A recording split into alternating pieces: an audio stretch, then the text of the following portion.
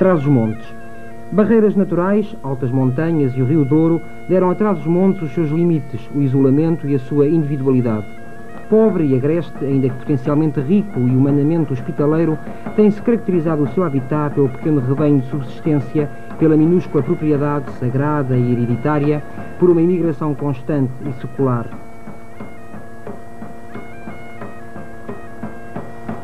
A alimentação é de climas frios e de fumeiro, com a truta e a boga, peixes do rio, de variedade.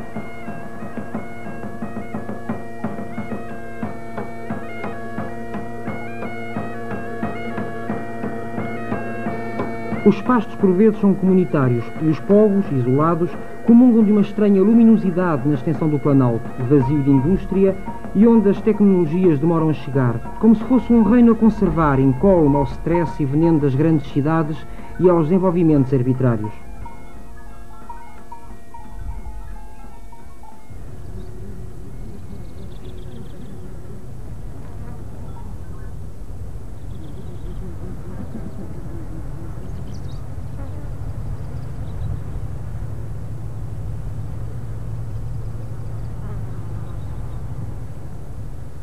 Falar destas paragens é falar de cabrito, é falar de trutas. Há cabrito onde há serra e as trutas existem por causa das águas dos ribeiros serem frias. Apesar de para Cabo Marão mandarem apenas os que estão, desta vez eu vou mesmo meter a minha colherada. Chefe Fernando Augusto, o que é que vamos fazer? Caldeirada de cabrito à serrana. Caldeirada de cabrito à serrana. Portanto, é um prato feito pelas gentes da serra, não é? O que é que leva esta caldeirada, diga-me lá? Esta caldeirada leva cebola à meia-lua, pimento verde. Pimento verde. Portanto, cebola à meia, em meia pimento verde, pimento verde, tocinho, tocinho, leva alho, alho, louro, louro, leva azeite, azeite, manteiga, manteiga. leva e então é tudo, o cabrito é cortado aos bocados e é tudo misturado naquela Portanto, caldeirada. leva cabrito, é claro, e eh, aqui é tomate. Tomate. Portanto, não tinha falado de tomate. Portanto, recapitulando rapidamente. Cabrito, cebola às rodelas, pimento verde, tocinho, tomate, eh, um concentrado de, de carne, eh, alho, louro e salsa. É isto, não é? E manteiga.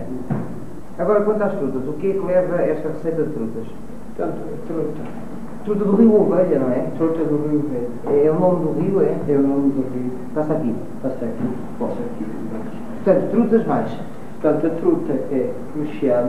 Espera lá, primeiro a truta é marinada, não é? Portanto, a truta é marinada e sal, Sal, limão e pimenta. sal, limão e pimenta. Deixa-me chegar assim a truta quanto tempo? Duas horas. Duas horas, pronto. Depois, Depois, passando duas horas, a truta é recheada presunto. sim, com troços de presunto. Presunto também desta região, não é? Da região daqui, da região do Portugal. Sim. E a seguir, a truta é grelhada É grelhada. Depois vem acompanhada com quê? com batata cozida torneada. E com Um molho molhado. Esse molho é feito com manteiga, manteiga derretida, não é? Manteiga derretida, sumo de limão e um pinguinho de molho impresso. Pronto, é só isso. Ah, só outra coisa ainda. Ah, elas vão grelhar na chapa. E a chapa.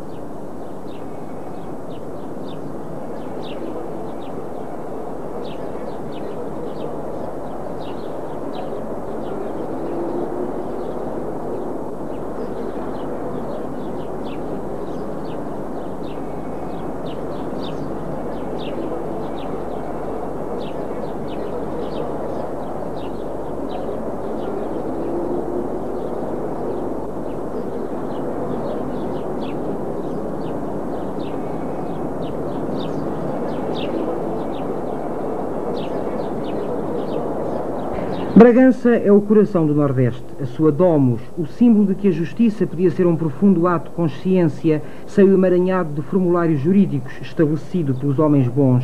O castelo, a reminiscência de guarda de fronteira e o espaço de uma história que passa de pai para filho sobre as calças de Gungunhana que ali estiveram expostas durante muitos anos. O Pelourinho e a Porca são símbolos frequentes em vilas transmontanas. Se o primeiro representa a justiça em toda a sua severidade granítica, o segundo faz parte de um culto que se perde no tempo.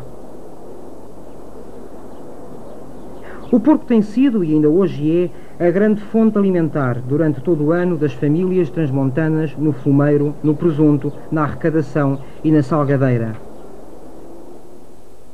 Produto da imaginação que o engenho aguça para estômagos fortes e temperaturas agrestes, a gastronomia transmontana privilegia o inverno e os começos da primavera. Comecemos, por exemplo, pelas tripas aos molhos. Vial Moutinho, jornalista e caminheiro das agruras transmontanas, diria mais ou menos o seguinte sobre este prato. Sacam-se as tripas, limpam-se, lavam-se. Ficam as maiores para servir papel de embrulho, dentro do qual se mete presunto caseiro e salpicão. Enrola-se a tripa. Há ainda o atilho em forma de tripa fina para aguentar aquilo. Depois, um molho especial, de um dia para o outro, para apurar bem. Depois de tantas horas, um refogado com lumbrando. É então que começa a cheirar. Esteja quieto, não bata com o talher no copo que é feio. Além disso, já não demora. E vem com arroz no forno. Dona Esperança Meireles Anos. Vamos pôr de parte esta descrição saborosa e vai-me agora dizer como é que aqui em Bragança faz as suas tripas aos molhos. Pois depois das tripas limpas Sim? vão cozer Sim? inteiras. Ah, Depois de cozidas, a gente corta-as às tiras. como essas aí, pois. Sim, como estas aqui. Corta também o presunto às tiras. Tiras mais ou menos do mesmo Sim, tamanho? Sim, mais ou menos do mesmo tamanho da tripa. Sim. Depois fazem-se os molhinhos. Assim. Sim. Com uma outra tripa um bocadinho maior, mas cortada da mesma maneira. Ata-se o molhinho. Sim, sim. E fazem-se assim vários. Pois. Vão depois ao tacho. Refogado, tem-se o refogado feito. Refogado com cebola. Sim, refogado com cebola, deixa-se alourar. Depois de alourada, Usam manteiga, usam azeite, como é que é? nós pomos um bocadinho de óleo e um bocadinho de azeite. Pronto. Cebola, azeite, óleo, Sim. mais alho, Depois leva alho. lá leva alho e leva tomate. Sim. Depois limpo de, Peles e de peles e sementes, leva o alho, está assim a refogar um bocado, a apurar um bocadinho. Deita-se os molhinhos das tripas. Depois abafa-se o tacho, deixa-se refogar um bocado. Depois de refogado, deita-se um cálice de conhaque. Hum, Isso é um sofisticamento das tripas aos sim. molhos. Depois está assim o tempo necessário para acabar de cozinhar. Pois, Pois pois, elas já vão cozidas. meias cozidas, Pois. não podem muito cozidas porque senão não se conseguem fazer os molhinhos. Sim, senhor. Depois então é servido Com o quê? com feijão, Com feijão. sim, feijão refogado, também vai ligeiramente refogado, ou refogado mesmo, não é? Então emprata-se a tripa, vai o, o feijão no meio da travessa, Os molhos. os molhinhos à volta, leva arroz ou, ou neste caso leva... Sim, Leva arroz, sim. Arroz branco. Também Mas também batata, pode não? acompanhar com batata. Isso já depende do gosto da pessoa. Portanto, é mais ou menos isto, não é? É. Olha, eu só lhe digo uma coisa. Eu aos molhos só conhecia o alecrim, mas parece-me que vou preferir desta vez É muito as bom. tripas. Faz muito bem, porque Então- é muito bom. Então vamos às tripas É aos assim. molhos. Depois, então, vão salpicadas com um bocadinho de salsa a dar um arcinho de graça. E assim se apresenta o nosso prato das tripas aos molhos. Sim, senhor. Agora é a vez da Dona Augusta Navais, que é aquilo que eu entendo como uma cozinheira de mão cheia, nos explicar como é que se faz um cabrito de miolada. É assim, não é? Cabrito de miolada. É cabrito. Então como é que é? Diga lá, Dona Augusta. Ora, corta-se o cabrito em pedaços, Em como está a ver aqui. Sim.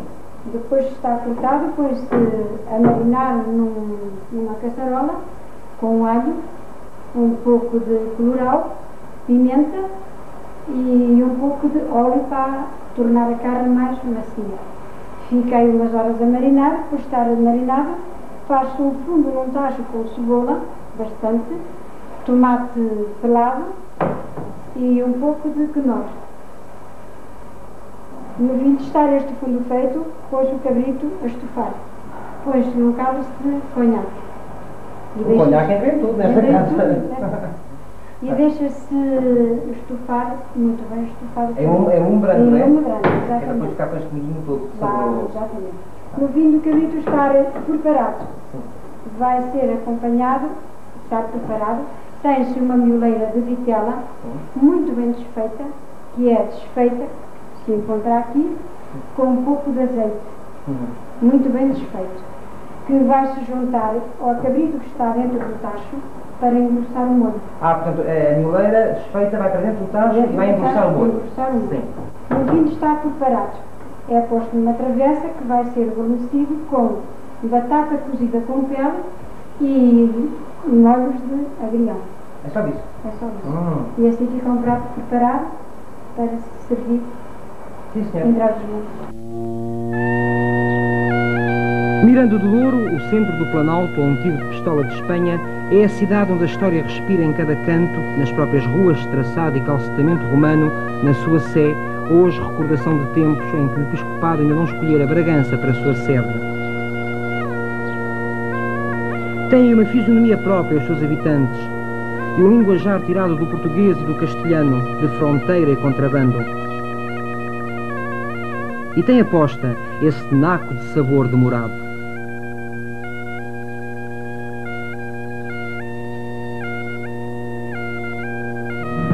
É, estamos em Sendim, em pleno Planalto Mirandês. Aqui vamos conhecer Alice Preto, transmontana generosa, aliás, como todas as transmontanas, de palavra pronta e apimentada, tal qual sua mãe, Gabriela, que deu nome e fama à cozinha de Trás-os-Montes. Venham daí comigo.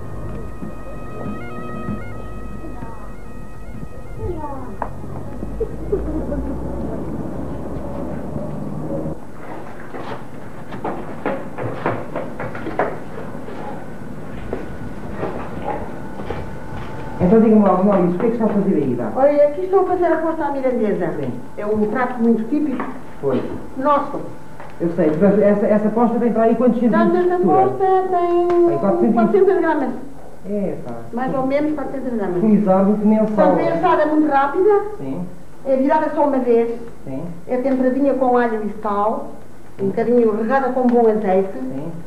E, e portanto, é nada depois de tirar da brasa, eu faço um molhinho que foi a minha mãe que me ensinou. A famosa, a E- famosa Gabriela. A famosa Agora, Gabriela. aqui. E portanto não queria divulgar, muito, porque É senão segredo, é segredo. perde, perde todo o valor. Tá bem. Porque a alma do negócio é segredo. Agora pé de mim porque é que explica outra coisa. Pronto, eu vou virá-la primeiro, Tá porque bem. isto é rápido, Então- só se vira uma vez, se é assim. Portanto, ela fica toda em sangue, não é? Ela não fica não, ela fica muito bem passadinha. Ah, é? Porque a assada é muito rápida, com muito. Muito, muito O que certo. estão a ver é um muito vivo e portanto ela fica cheia de sumo. Agora diga uma coisa, Dona Alice, e o não que, fica é, seca. o que é que está a passar aqui, aqui ao lado? Aquelas senhoras estão, portanto, a fazer alheiras. o que é que lá tem dentro do caldeirão? Ora, estão dentro do caldeirão, têm só coisas boas. Mas que coisas boas Ora, são começamos pelo pão. Pois. É o pão. Então, É carnes cozidas de porco e, e de pluma. sim, Aves. sim, Portanto, sempre galinha. Carnes brancas. Carne, sim. Peru. sim. Pato. Sim. Uh, A perdiz, mas é muito cara. A perdiz agora não, não está na moda. É muito cara. São os patos. Os patos bravos. Claro. E depois? E depois leva, leva aquela carne toda desfeitinha, depois cozida, com a água é amolecido, é, as sopas são amolecidinhas, e no fim põe-se um rejado com, com banha de porco, Sim. depois das carnes estarem misturadas com o pão, Sim. um rejado com banha de porco, põe-se um bocadinho de colorau, bastante alhos, porque já por isso se chamam alheiras, bastantes alhos, e põe-se também um bocadinho de picante ao paladar, querendo Tudo amassado, enche tudo volta, é um trabalho- uma colher de pau muito traçadinho, muito bem mexido, muito bem mexidinho, e depois põe-se também um bocadinho de salsa, também diz muito bem. Isto é um trabalho que é feito quantas vezes por semana? E, portanto, eu faço uma vez por semana. E depois ficam no E fumeiro. depois ficam no fumeiro. Ficam no fumeiro quanto tempo? Depois ficam no fumeiro a alheira aí, quatro dias chega. E lá lá coisa melhor que uma sopa entulhosa para nos recompensar, para nos reconfortar das agruras transmontanas. Senhor José Francisco Miguel, o que é que esta sopa transmontana vai levar? Diga-me lá, já que estamos em Miranda do Douro, diga-me isto em mirandês, está bem? O que é isto? Isto vai levar cebola, Portanto, cebola, feijão, ou feijão, vá. em mirandês como Em é que diz? mirandês é feijão. Portanto, eu digo depois o ré, eu digo é, é, feijão. Isto, Batatas, batatas, em irlandês é batata também que diz? Isto. co- berças, Portanto, que é couve, ou portuguesa, isto. cenoura Cenoura, qual, ali. e castanhas. Castanhas e isto, também é importantíssimo. Isto é pernil, chama o pernil do presunto, é a parte do presunto. Pronto, portanto, estes são os ingredientes. Mas eh, eh, a cozinha tradicional portuguesa é feita também de velhos truques. E o senhor tem um truque para eh, despelar as castanhas. Como é que é? Põe-se numa frigideira, que é uma safetá em mirandês. Portanto, mas dá-se um golpe. Com não é? azeite e dá-se um golpe primeiro. Com Depois o azeite está bem forte, o óleo, e põe-se as castanhas na frigideira, e depois é que com aquela fortaleza do calor e salta e descasca na água. Ó Sr. Miguel, por aqui não há Natal sem, sem polvo, não é? Sem polvo. Mas é na noite de Natal que se come o polvo ou no dia de Natal? Na noite consoada. Pronto, e como é que é? É polvo cozido? É polvo cozido com batata cozida. Portanto, o que é que leva esta receita? Polvo, É polvo, batata, cebolha, agora Cebola. aprendi, já aprendi, cebola e tomate. e tomate. Bom, portanto, isso é peixe, mas agora isto, o que é isto aqui? Isto é o cordeiro. Ah, cordeiro. E como é que se faz a receita do cordeiro? À Cordeiro. moda de Trás-os-Montes. Transmontes é só cortado, temperado com sal e grelhado na brasa. Na lareira ou lume. Então vamos a isso, Sr. Miguel.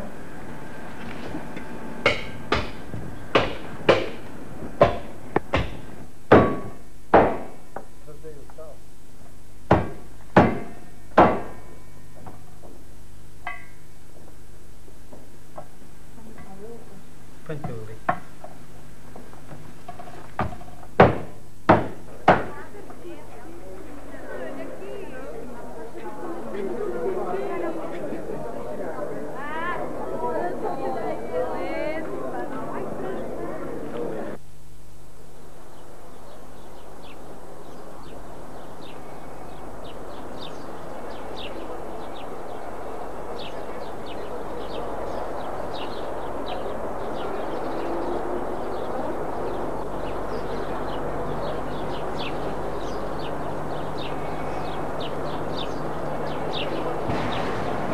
Estamos numa cozinha tradicional transmontana e este é o vasto e inigualável fumeiro transmontano. Já aqui falámos da alheira, que em outros tempos teria sido enchido e inventado pelos judeus para enganarem e bem os esbirros da Inquisição. Mas de entre tantos enchidos, um há que ressalta ao nosso olhar e paladar. Trata-se do botelo, também chamado de salpicão de ossos. E vamos já saber porquê. Dona Maria Beatriz, o que é isto de botelo?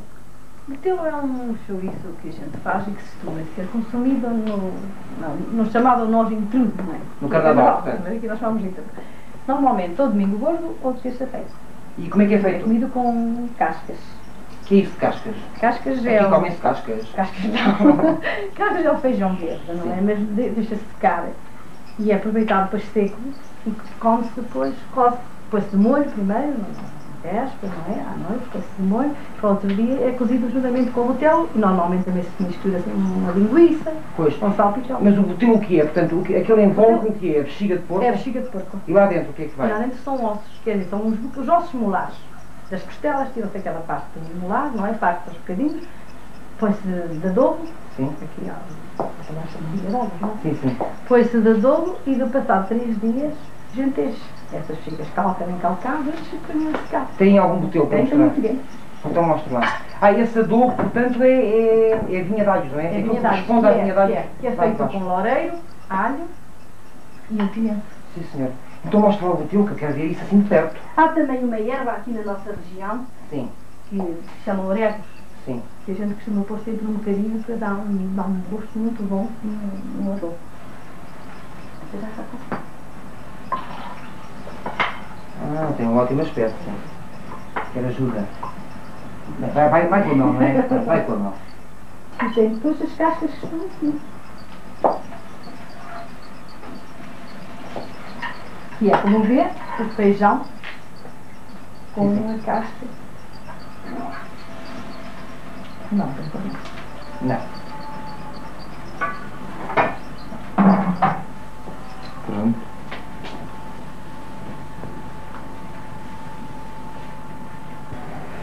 Entre os enchidos e os doces, vamos passar primeiro pelo folar transmontano. Um folar que aqui é gordo e de carnes, não é, Dona Maria Beatriz? Tinha feito salpicão, presunto e linguiça. Então mostre lá o que está dentro desse, dessa colha de massa.